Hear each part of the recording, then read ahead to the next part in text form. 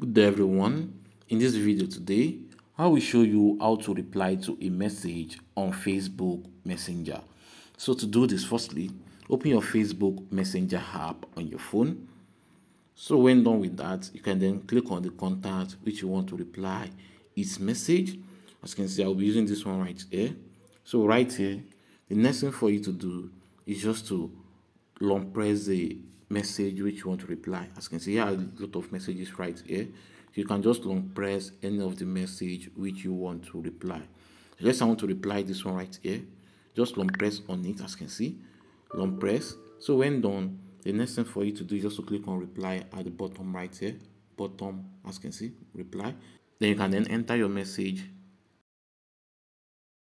So when done just click on the send button so right now as you can see i've just replied this message which is the one right here. So that's all to do this. Hope this video help. Please give it a thumb up and don't forget to subscribe to our youtube channel. See you in the next video